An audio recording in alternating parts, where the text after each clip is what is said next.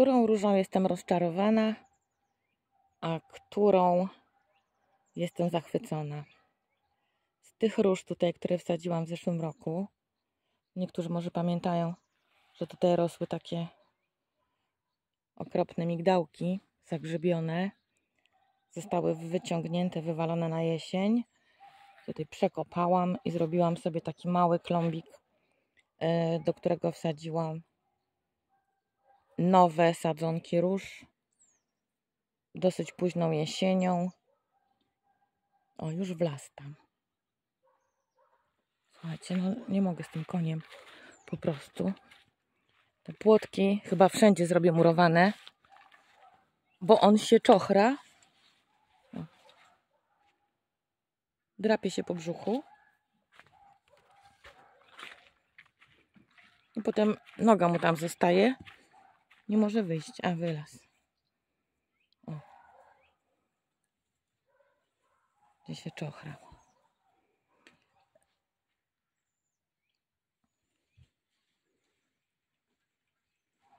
Wszystko potrafi mi połamać ten łachudra. Dobra, wracamy do róż.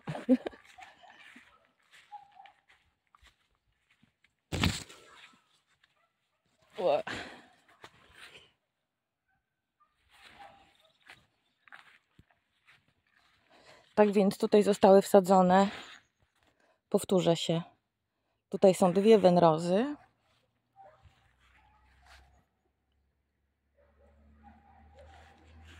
Tutaj są dwie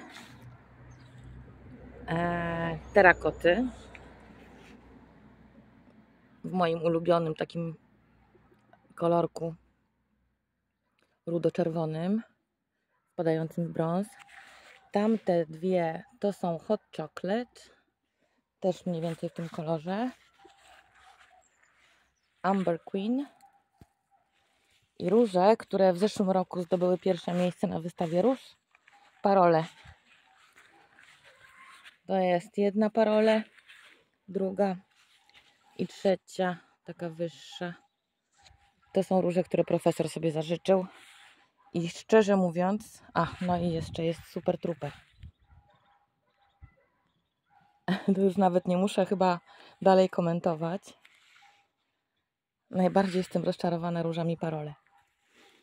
Nie dosyć, że urosły takie mizerne. Kwitły do tej pory raz. Ta jedna jest trochę wyższa. To jeszcze są bardzo, ale to bardzo mało odporne na promienie słoneczne, a to stanowisko jest zdecydowanie wystawione prawie cały dzień na słońce, a wręcz patelnia. Wędroza jest po prostu wspaniała. Chociaż ma takie dosyć długie przestoje pomiędzy kwitnieniem. Ale jak już zakwitnie, to cały klaster pięknych cykla, cyklamenowo-różowych kwiatów pięknie długo stoi w wazonie. Jest po prostu wspaniała. Jestem zadowolona bardzo z róży terakota. Kwitnie obficie, często. Stoi długo. Piękny ma, przepiękny ma kolor, jest zdrowa. Tutaj dosadziłam jeszcze dwie róże Cordesa Sweet Honey. To wsadziłam na wiosnę. Zobaczyłam u JJ'a ogrodnika z Anglii, który ma super kanał, na którym pokazuje też swoje róże głównie. I u niego ta Sweet Honey już w pierwszym sezonie osiągnęła jakieś 80 cm, nawet metr. Moje tyle nie osiągnęły, aczkolwiek może się doczekam. Są, są zdrowe, są ładne, mają taki delikatny kolorek. Tutaj sobie ładnie y, z szałwią się komponują. Z towółką. Malina mi tu wyrosła. Ale z tych zeszłorocznie wsadzonych w tym miejscu po prostu super truper to jest super róża. Bije na głowę wszystko. Po pierwsze, zbudowała największy krzaczek, ja już o tym mówiłam. Po drugie, trudno znaleźć jakikolwiek zakażony listek czymkolwiek. Tutaj coś może podżera. A po trzecie, ta róża kwitnie bez przerwy, bardzo bujnie, bez żadnej przerwy od połowy maja. Od połowy maja w tym roku.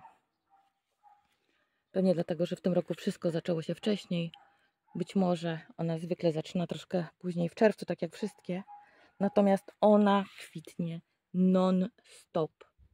Nie robi sobie żadnego czasu na odpoczynek. Pełna jest pąków. A nie jest jakoś specjalnie zadbana. Tak samo dokładnie jak wszystkie inne tutaj akurat w tym miejscu. Także z tych róż tutaj wsadzonych najgorsza jest ta parola moim zdaniem. Być może ona powinna być jednak posadzona w miejscu, gdzie tego słońca jest mniej. Pomidor, co mi tutaj wyrósł sam, zostawiłam go, no ale jak może u mnie coś rosnąć, jak y, kury się częstują, ja się chyba nie doczekam pomidorów, przynajmniej na tej wysokości. Może tych tutaj trochę wyżej. Jak już się wysiano, to został. Trochę głupio wygląda w różach, ale nasz ogród jest dla nas. Że nie wszystko jest doskonałe. Jak to bywa. Także super truper, super róża. Gdybym miała robić jakiś klomb, a oczywiście o tym myślę. Gdybym miała robić jakiś klomb różany z jednej odmiany róż, za to w dużej ilości, to myślę w tej chwili, że byłaby to właśnie róża Super Trooper. Zdecydowanie.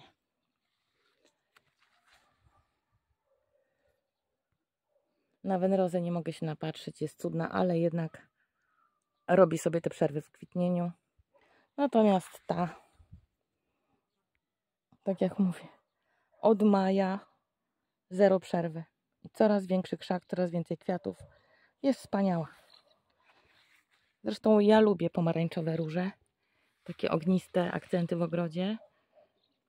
Niektórym może kolor trochę przeszkadzać. Jak ktoś lubi takie bardziej stonowane. Ja nie. Ja lubię jak jest kolorowo i ogniście. No ją widać z daleka. I to jest właśnie róża z tych kilku odmian wsadzonych, która radzi sobie perfekcyjnie. Perfekcyjna róża.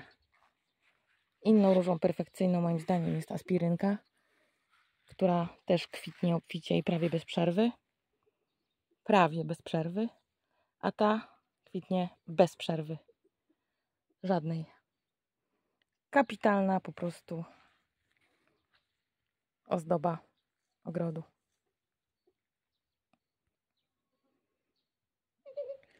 Tutaj to znowu widać, tamte już poprzekwitały. Jest po prostu bujna zieleń.